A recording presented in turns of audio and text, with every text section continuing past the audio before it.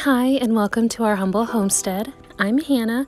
My husband Gabriel and I live very tiny in a 14 by 20 shed with our five children. And today I wanted to show you how I try to set an example of slow living for my children while passively teaching them independence. Today, from start to finish, I'm going to be grinding fresh wheat berries and then baking breadsticks. And you'll watch and see how my kids go from watching me do it to progressively helping me with each step, not realizing all this time that it was a part of their school. I used to try to squeeze myself into a more traditional style of homeschooling because I went to a traditional school for most of my childhood. I thought that that's what homeschooling needed to look like where my children sat down at a table or even in their own desks for hours until all their school was done. But that's not how we run our home. After breakfast and after morning chores outside, I usually start off my younger kids with something creative that will occupy their hands and their minds. For example, today I'm setting up my six year old with a bracelet making kit so that she can be engaged and have fun while I help her older brothers with their school. And I just want to take this moment to say that no two homeschooling days are exactly alike. We used to try to stick to a routine, but as our kids have very different personalities, I saw that that just wouldn't work for our family. My eldest is very driven and very motivated and wants to get schoolwork done as fast as possible.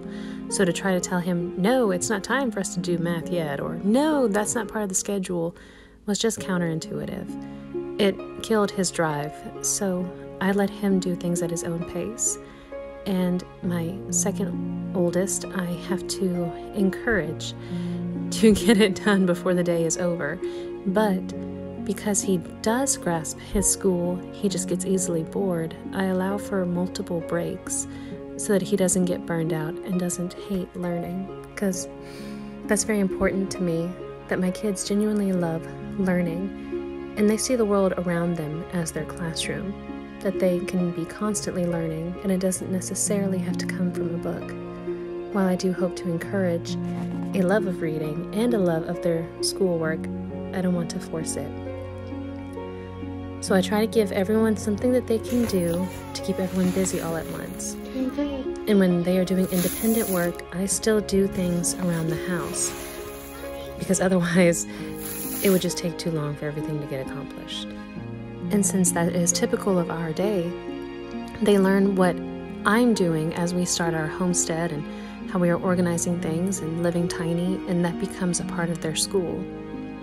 I've been learning about freshly milled wheat so we recently got hard red, hard white, and soft white berries. So I am organizing them to get them out of bags, and so we have more freshly milled wheat readily available.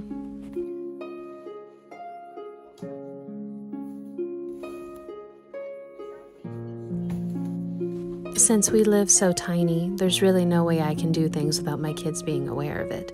So it's never long before they ask if they can help. And I personally try to say yes as often as I can.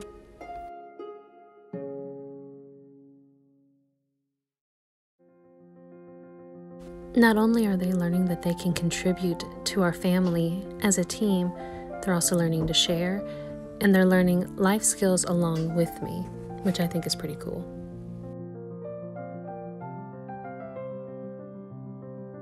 So, what's pretty typical in our house is I will have my own projects and my own to do list that is going on basically in the background, but I am available to them whenever they need help with their school.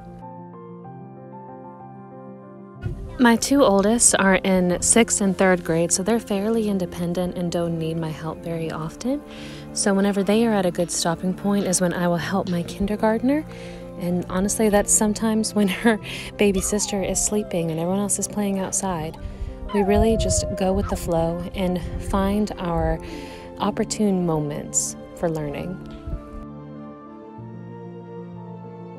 Now, what you'll see here, which is something that was supposed to be a very pretty B roll for you, is a little bit of real life.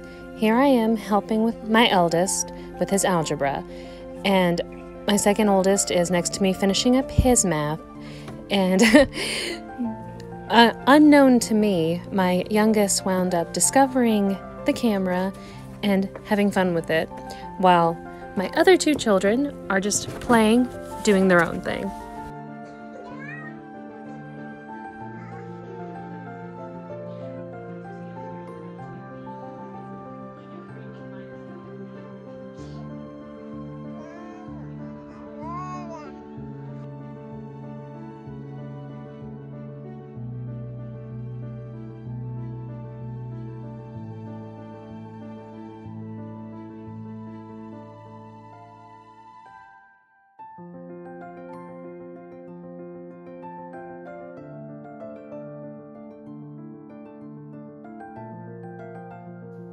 You do it in the funnel, can do it small.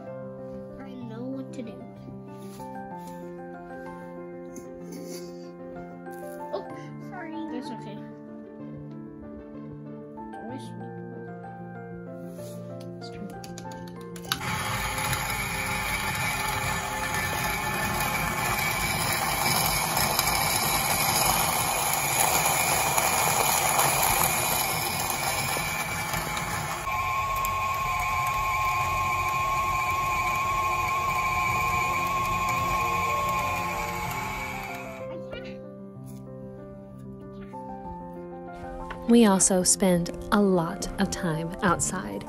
It's just so nice to be able to send everyone out where they can play, use their imaginations, get away from screens, get some fresh air, run on the ground in their bare feet, splash in the mud, play with animals.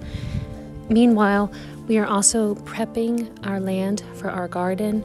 Today, I was picking up rocks and I asked the kids to pick up discarded wood and sticks.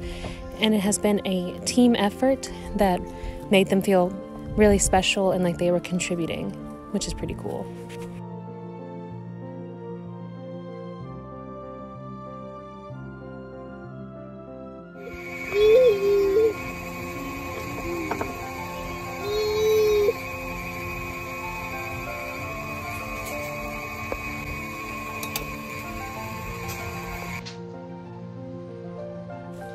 Also refuse to feel rushed while my sweet baby sleeps. And like I said, this is one of the prime opportunities to help the older kids with their more complicated school.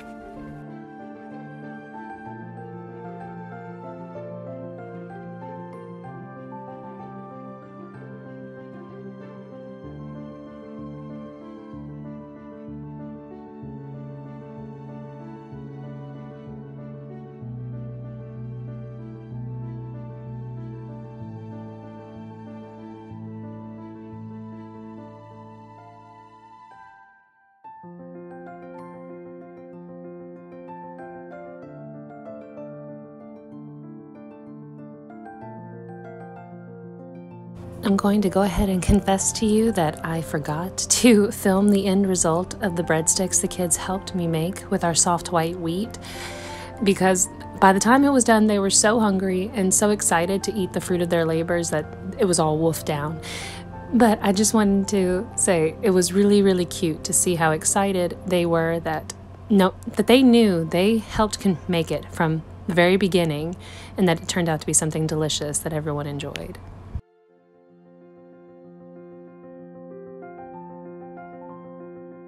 And if you are interested in the breadstick recipe, I will leave it in the description box below.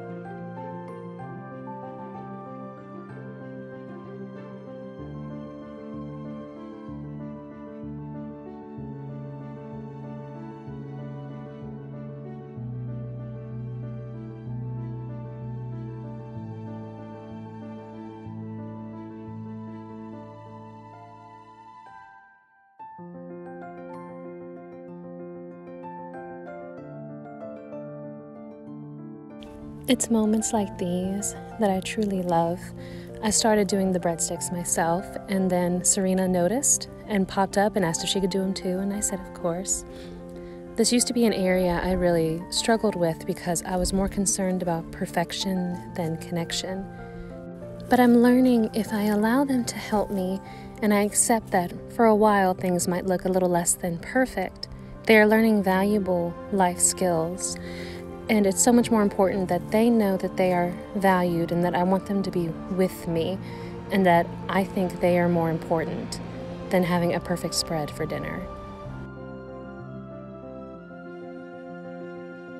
And I love that gradually more and more kids hopped up and asked to help.